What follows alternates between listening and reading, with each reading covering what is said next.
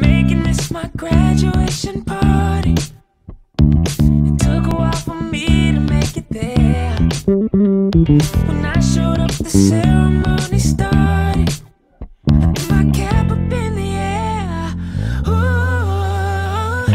oh, I gotta graduate.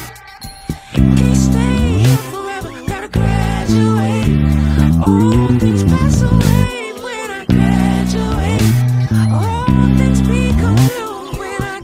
graduate. Thank the Lord that I'm much smarter.